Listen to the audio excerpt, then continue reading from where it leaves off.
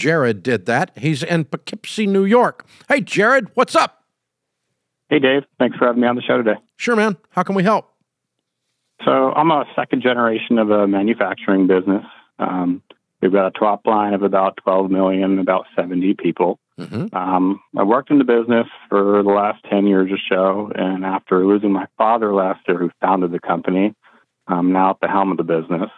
Uh, I've been working to improve the culture of the business, and I feel like some of our team members who've been with us for a long time are not pulling their weight in terms of work ethic and the culture that I want to build moving forward. How old At are what you? point do I? 27. Wow. At what Man, you've point been do I a make the wild hard year. decision? You've been through a Yeah. wild year. You must have been scared to death part of this year. yep, uh, we're doing it. Yeah. um, so my question is, at what point do I make the hard decisions to change some staff despite their longevity? Hmm. Well, um, the good news is is that your dad mentored you well. I can hear it in your voice that this is a painful thing. yeah, Am I right? you are. Yeah, because if you were just a punk kid that got daddy's business, you wouldn't be worried about how you feel about this. You would have just executed someone, right?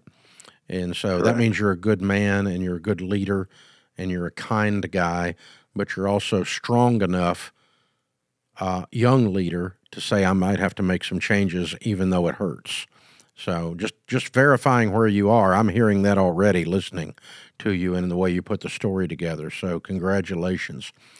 Um, there's nothing you're going to do here that's going to be easy or clean or that everybody's going to go along with or understand.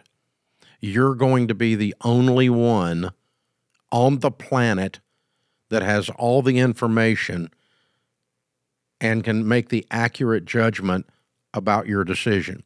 Other people are going to make judgments about your decision, and their opinion doesn't count. So be ready for that.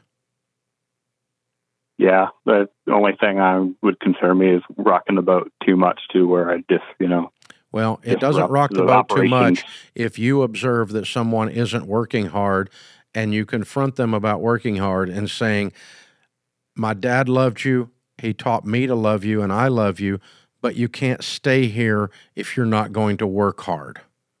And I'm developing a new culture here where we're going to be a little harsher, a little not a harsher. Harsher is not the right word. We're going to demand uh, excellence of each other, myself included, and that includes a work ethic. And so, if you want to be part of this team going forward, your work ethic's going to improve and your attitude's going to improve.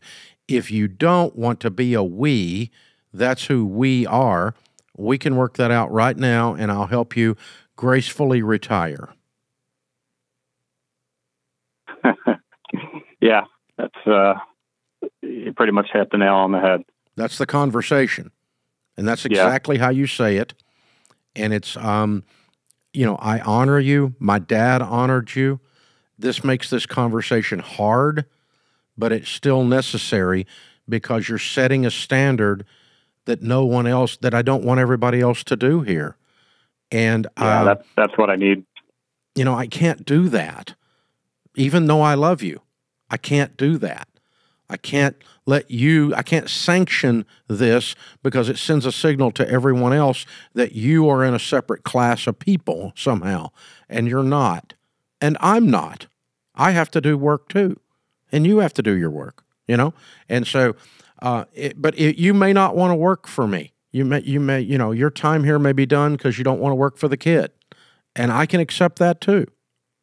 You can just say that these are things you should say, is what I'm saying. All right. Sure. So, so my son is a little bit older than you. He became the president of Ramsey last year. He and I are running this together right now. But um, that's the type of conversations he would have to have as well. Um, and and what's interesting is he sees things here that I don't see. My eyes are a little bit blinded by my loyalty to somebody who's been with me 20 years.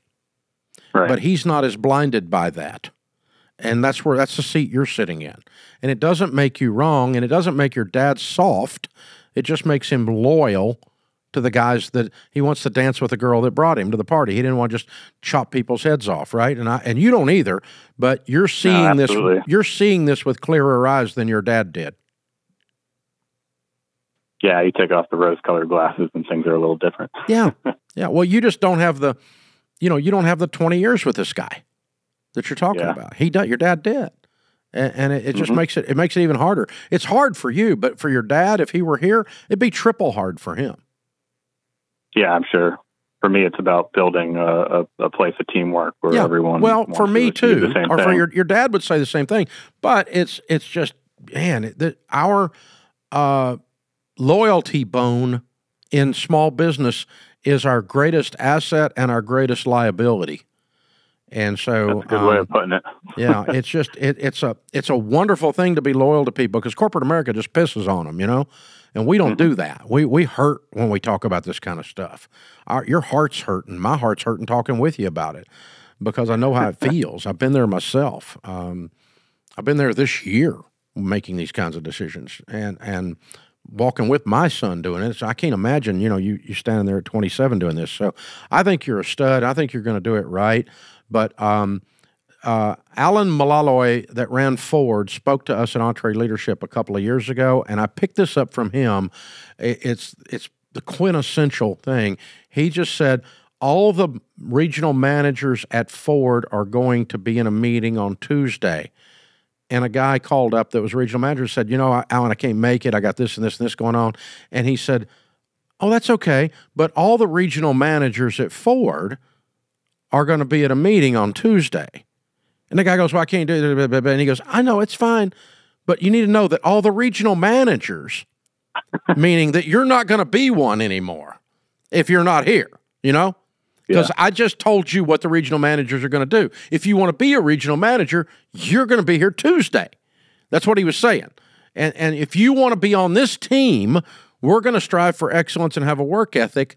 And I don't know if you want to do that or not.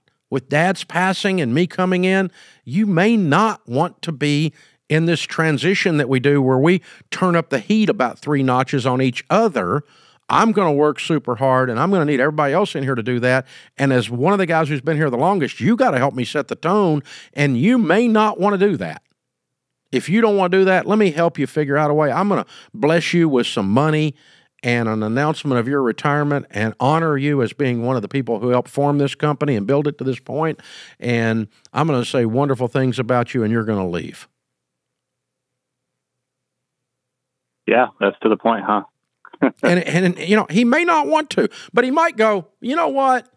I have been screwing around and I'm a better man than that. And I'm going to quit screwing around and I'm going to step in here, Jared, and I'm going to help you because I loved your dad and I love this place and I'm going to do it. And I'm going to step up. Yeah. He might step up. You might, he might, his honor might stick out, you know? But, um, sure. but if it doesn't, you're doing the right thing. And one year later, not a soul on the planet will remember this transaction except you and the guy. No one on your team will remember it. Your mom won't remember it. His mom won't remember it if she's alive, you know, and so on, right? I mean, nope. The, the, the, what I always think of these things with more drama inside of my head, like it's going to have this lasting effect or something. It, it's like, it's amazing when you're gone, nobody notices it's just it's kind of sad. But um, we just go on to the next thing, you know.